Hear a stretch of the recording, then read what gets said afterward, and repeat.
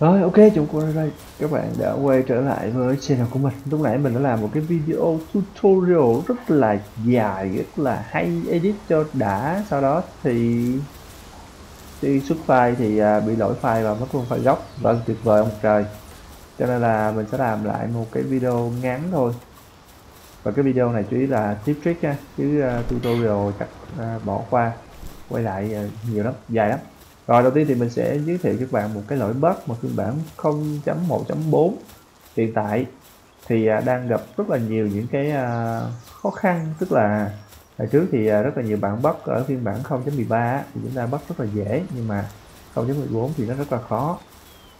Rồi, đó là cái lỗi mà khi mà các bạn xây dựng một cái công trình á, thì các bạn hủy nó đi, thì các bạn sẽ nhận lại được toàn bộ cái nguyên liệu đó, đúng không? Đó là bình thường nhưng mà bây giờ thì chúng ta sẽ double tức là chúng ta sẽ um, xây công trình không tốn nguyên liệu. Nhưng mà khi các bạn hủy nó đi thì các bạn sẽ nhận lại cái số lượng nguyên liệu đó. Ok? Rồi. Box nó sẽ làm như thế này. Đầu tiên thì mình sẽ chọn một công trình để mình xây và các bạn sẽ nhìn cái góc trái màn hình. Đây là cái phần nguyên liệu ha. Đó là cái thổi tinh chế tức là mình không biết tiếng việt uh, dịch lại thì uh, ở bên the red team thì các bạn hay uh, xài bị xuất từ bên The Red Team đúng không? Mình không biết là cái um, cái Refrigerated Ingot này là dịch là cái gì nhưng mà mình sẽ dịch nó là thổi tinh chế. Và cái uh, bản điện tử đinh cùng với cái uh, cái này là cái gì ta? Baladun phát uh, mình vẫn chả biết gì mình kêu nó là đá xanh vậy ha. Rồi. Thì các bạn sẽ thấy là chúng ta sẽ có 100 cái thỏi này. Và các bạn sẽ nhớ số lượng của mình đó là 5484 đó là số lượng ở trong thùng đồ của mình ha. Bây giờ mình sẽ làm sao đó?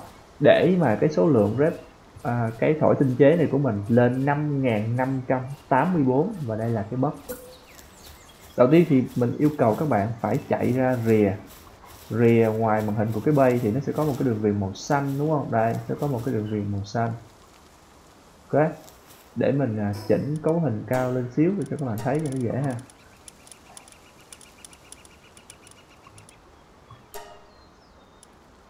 Rồi ok đây các bạn sẽ thấy một cái đường viền màu xanh thấy không nó là cái đường viền phân tách giữa cái bay và bên ngoài bay đây bây giờ thì bạn đứng ở trong cái bay chọn một cái công trình chứa nguyên liệu mà các bạn cần ha rồi các bạn sẽ chạy ra phía ngoài bay nè đó các bạn sẽ thấy là chúng ta sẽ để là các bạn không đủ nguyên liệu để xây bên góc phải á, nó sẽ hiện hết về màu đỏ là không luôn cam hết bây giờ mình sẽ nhích từ từ nhích nhích nhích nhích nhích nhích nhích nhân vật vào trong cái bài. Và các bạn sẽ nhích như thế nào đó mà để cho cái nhân vật của các bạn á nó sẽ tiếp xúc một cái phần cực kỳ nhỏ đối với cái cái bay của chúng ta. Ok. Đây. Các bạn thấy là nhân vật của mình nó chỉ có một phần rất là nhỏ đó là một phần chân. Nó đặt ở phía trong bay. Còn đa phần thì khoảng 9 khoảng à, bảy tám mươi phần trăm thì nó ở phía ngoài. Nhưng mà khi các bạn cầm cái này á thì chúng ta bắt nó sẽ khá là khó, cho nên là mình có một cái mẹo, cái trick, cái tiếp trick của mình ở đây á, là các bạn cầm cho mình lên cái à, cái đuốc. Ok. Đây. Thấy không? Các bạn cầm cái đuốc lên cho mình, thì nhân vật của chúng ta nó sẽ đưa cái chân về trước rất là nhiều. Và bây giờ mình sẽ làm lại ha.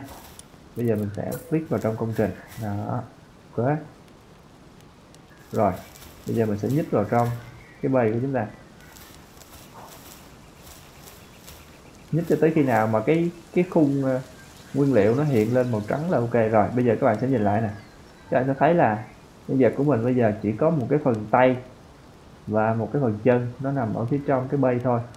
Rồi bây giờ khi mà các bạn đã đứng đúng đúng tư thế rồi đó là một cái phần cổ tay và một phần chân đứng ở trong cái bay thì nhiệm vụ của các bạn á, là chọn một cái điểm để chúng ta có thể xây cái này mà sao nó không có bị vướng để chúng ta xây được ha.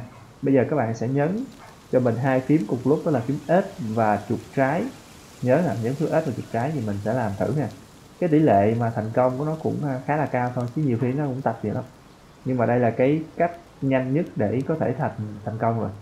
Đó là nhấn chuột trái. Bây giờ mình sẽ nhấn chuột trái và S nè. Chuột trái và S, xong mình sẽ chạy ra ngoài cái bay này các bạn thấy không? Sau đó mình vào trong mình thử để kiểm tra lại xem. Vẫn là 5484 tức là tập. Ok chuột trái và ép này hủy. Rồi như vậy là mình đã lên được 5.584 tức là mình đã đúp thành công cái à, 100 thỏi tinh chế và mình sẽ làm lại lần nữa xem. Đây một phần chân phía trong chuột trái và ép mình nghĩ lần này chắc được đấy. Đây. 5.600 Rồi ok, cái chiếc lõ thứ hai mà mình muốn chia sẻ với các bạn đó là cách để chúng ta đánh những cái con boss hoang dã như thế này. Tức là con boss nhưng mà nó nó không có bị đóng chuồng, nó không có bị bỏ vô trong cái chỗ nào hết thì có hai cách để các bạn đánh là một là các bạn solo tay đôi một một hai là các bạn sẽ xây cho mình một cái công trình như thế này. Ok mình cho kỹ nha cái công trình này thì nó cũng khá là đơn giản thôi. Ở trong thì các bạn làm cho mình à, vài cái bếp lửa. Ok. Ở trong thì các bạn làm cho mình vài cái bếp lửa. Và chúng ta sẽ xây hai mặt bằng cầu thang. Cái này là mình xây một mặt là fail mình sẽ xây bằng hai mặt bằng cầu thang. Ok. Rồi mình sẽ cần thêm một mớ gỗ hoặc là đá.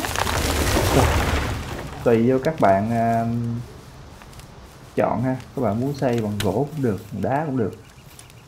Bây giờ thì mình sẽ xây cầu thang cho nó. Ok. Một cái này hai cái này đã xịt hết đá. Cũng may kế bên đây có mỏ đá luôn. Úi rồi ôi sao mỏ đá hết rồi.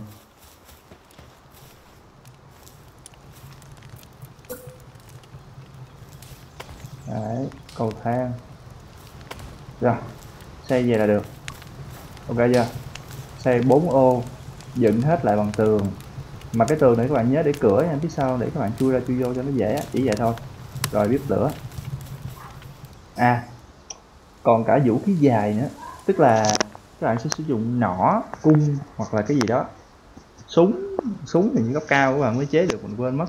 Là các bạn chỉ sử dụng nỏ với cung tức là vũ khí tầm xa đó thì các bạn sẽ khiêu khích nó. Nhưng mà bây giờ mình không có thì bây giờ bắt buộc là mình phải uh, quánh con này.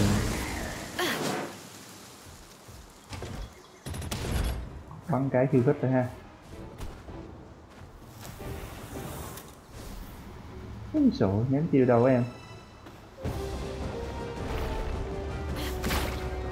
Rồi, bạn sẽ dụ nó vào trong cái à, cái nhà này cho mình.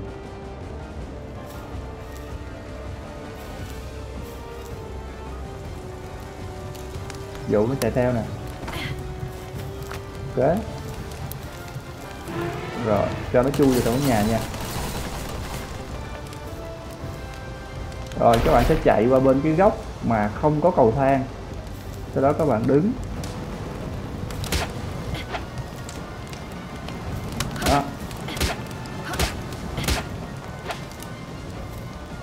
Chạy lên cái góc mà không có cầu thang. Nhớ là các bạn phải đánh nó liên à, các bạn sẽ sử dụng vũ khí để các bạn đánh nó cho nó mất máu bất kể là con boss nào.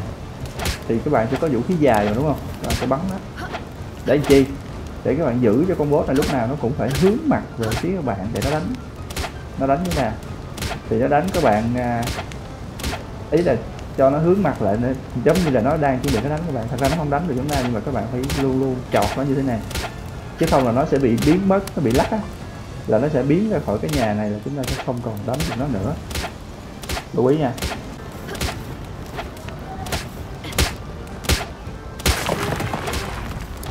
Mình lỡ cho cái tường này. Đây. Mình chọt cái đó cái tường các bạn.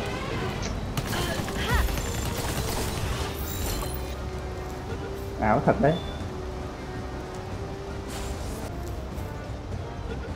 Đấy. Đó đó là cái cách để các bạn đánh đối con giả. Lúc nãy mà đứng gần quá, nó đưa cái dòi qua đây nè, xong cái mình chọt vô trong công trình luôn. Mà cái mũi giáo này thì chọt cái công trình thì tầm mấy cái là banh rồi, phải không? Ba cái thì hư mẹ rồi, đâu nữa. Đó. chứ không phải là tại vì con voi đánh bể công trình nhé do nó đánh ờ, công trình mà nó đánh bể thì lâu lắm. Đó là tại vì mình chọt cái mũi giáo này nó đam nó khỏe. Đam với công trình nó khỏe 450 sát thương rồi.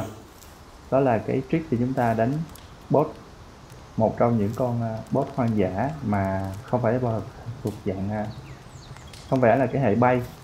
Tức là cái hệ mà bay giống như con à, chim chóc rồi đó các bạn. Thì chúng ta không áp dụng được trick này. Chỉ áp dụng được với cái những con boss hoang dã mà thuộc dạng là cái hệ mà chạy bộ thôi nhé. Ok.